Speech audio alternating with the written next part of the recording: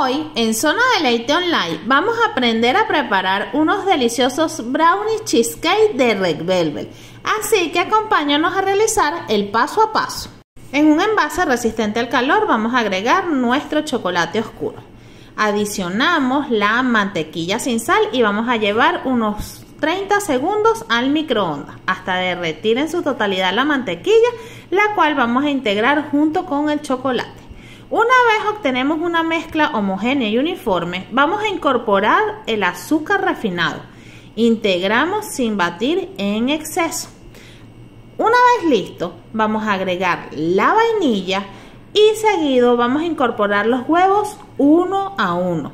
Una vez que incorporamos un huevito, podemos agregarle el siguiente. Esto es para hacer mucho más fácil la mezcla de los ingredientes vamos a incorporar el cacao en polvo, agregamos con mucha paciencia con la espátula, vamos a integrar muy bien el cacao en polvo, va a potenciar el sabor del bizcocho.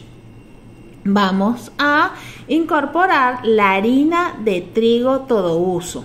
Y seguido, una vez que tenemos una mezcla homogénea y uniforme, le agregamos el colorante en polvo y el bicarbonato de sodio.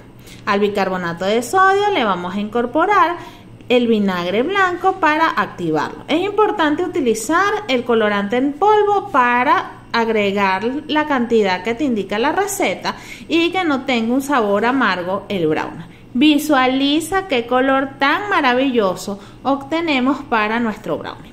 Vamos a hacer ahora nuestra mezcla del cheesecake. Tenemos nuestro queso crema, el cual vamos a ablandar y le vamos a incorporar el azúcar refinado.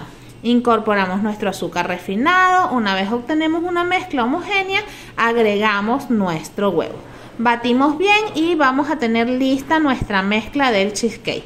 Ahora vamos a envasar en un cuadrado, ¿ok? De tamaño 20 por 20 por 4. Vamos a agregar primero la mezcla de nuestro brownie y seguido le vamos a incorporar la mezcla del cheesecake. El brownie, una vez integramos nuestras mezclas, vamos a tomar un palillito, una espátula, un cuchillito de mesa y vamos a integrar un poco lo que es ambas mezclas para que dé un efecto marmolado. Esto lo vamos a llevar al horno a una temperatura de 170 grados durante 45 minutos aproximadamente. Una vez sale del horno dejamos enfriar para porcionar y degustar.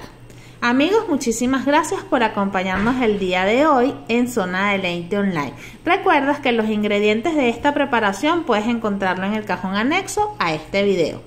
Se despide de ti desde Zona de Leite Online la chef Yuri Rodríguez.